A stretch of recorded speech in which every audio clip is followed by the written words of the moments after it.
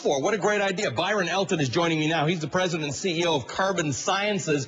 I don't understand. I won't pretend to understand the science behind this one. What is it that you're doing with CO2 uh, to, to, to, help uh, save it from getting out into the environment? Good morning, Ali. Thank you for having me. As you mentioned, we're working on a technology that makes gasoline, same gasoline that you're using in your car today, without using crude oil. Now that's important because, as you know, for the last since Richard Nixon, every president, including President Obama, has vowed to end our addiction to uh, crude oil, to petroleum. And we find ourselves today in a worse position than we've ever been. The demand for oil is at an all-time high. Uh, last week, China surpassed the U.S. as the largest consumer of energy in the world, and it's continuing to grow. Easy oil is behind us. There's a reason that BP's drilling for oil 40 miles off the coast and two miles deep. It's very difficult to get at. And perhaps more importantly, uh, we don't control it. We don't control the supply. We don't have enough for ourselves. We don't control the pricing. And as a, uh, as a result, it's a catastrophic economic effect uh, on, on the country. Uh, in January, the trade deficit was $37.3 billion. 75% of that, 27.5 billion, was spent on oil. All right, so what can and you so do about it? What can you do about it specifically? So the idea is, can you make gasoline that uh -huh. fits into the existing infrastructure, the same cars you're driving, the same supply chain, without using crude oil? And that's the technology that we're working on. You mentioned greenhouse gases.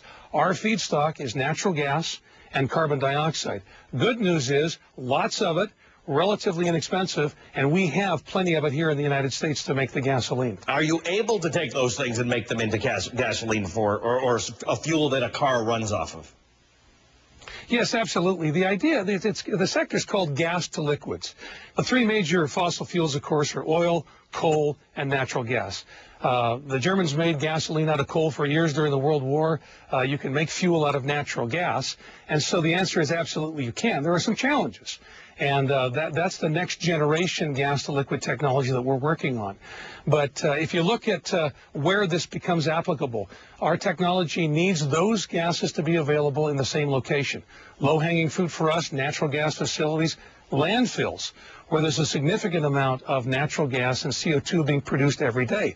Typically what they do, they separate. It's an expensive process. The natural gas, which is considered valuable, goes into the distribution system. The CO2 gets vented into the air, which is not a good thing for anybody. Our technology takes the CO2, reacts it with the natural gas, the methane, with a chemical catalyst, and produces gasoline. Same gasoline that we're using today. All right, let's hope it works out. Brian, uh, Byron Elton is the president and CEO of Carbon Sciences joining me. Uh, thanks very much. All right, we're continuing our coverage of the immigration story. As you know, SB 1070, the Arizona state law, went into effect today, but with some big changes. Some of the most controversial parts are gone. So why are people protesting and getting arrested right now in Arizona? I'll tell you when we come back.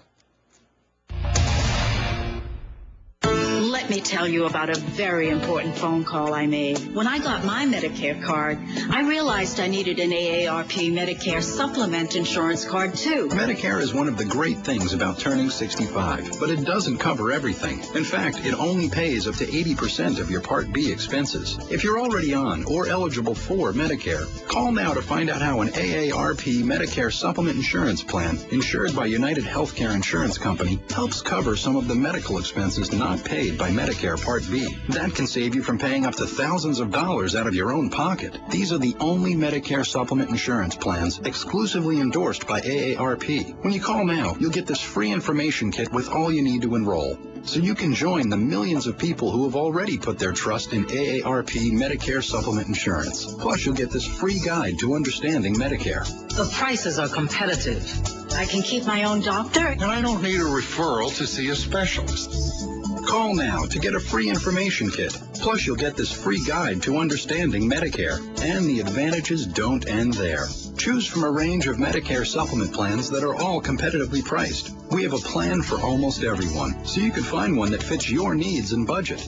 With all Medicare supplement plans, there are virtually no claim forms to fill out. Plus, you can keep your own doctor and hospital that accepts Medicare.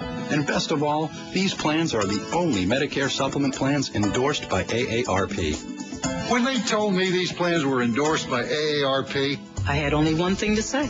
Sign me up. Call the number on your screen now and find out about an AARP Medicare Supplement Insurance Plan. You'll get this free information kit and guide to understanding Medicare to help